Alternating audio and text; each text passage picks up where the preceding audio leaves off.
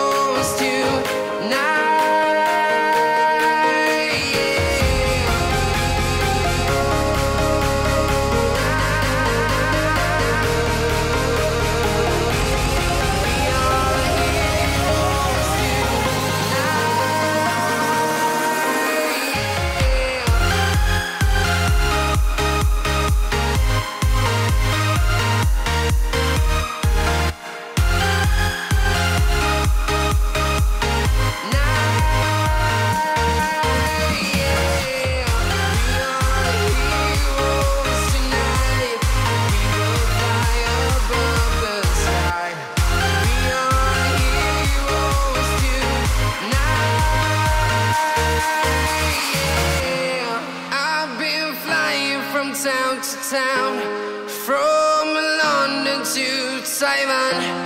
I've been all around the globe trying to protect your soul.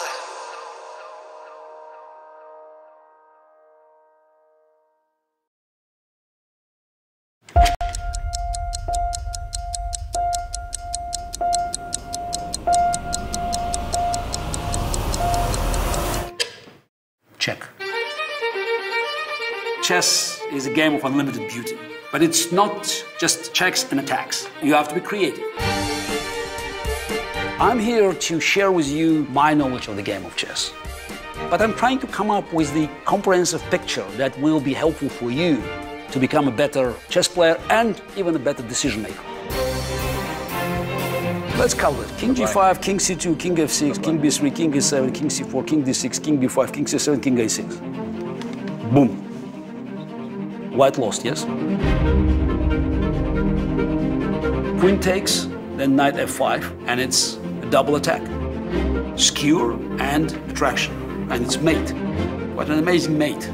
How can we prevent this rook from stopping our pawn? Let's pause, stop the video, and think.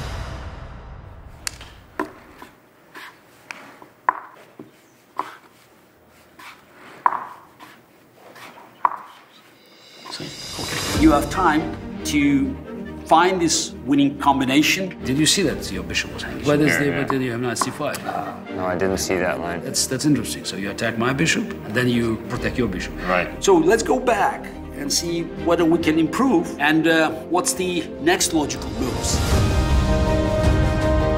It's about coming up with new ideas, challenging your own excellence. Find your mistakes. Next time you have to do better.